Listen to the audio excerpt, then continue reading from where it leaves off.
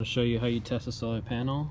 Just just stick the leads in. Doesn't matter which one goes in which. You you turn it on to to uh, DC amps. You see, and I put on the 200M, and I'm reading 3.9 out.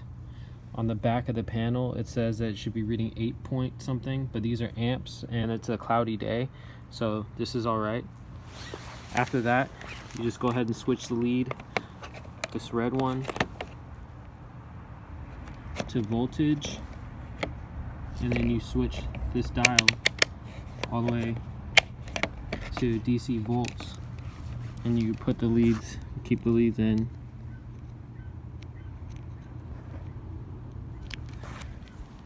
You'll see you're getting 36 and that's that should be a pretty good panel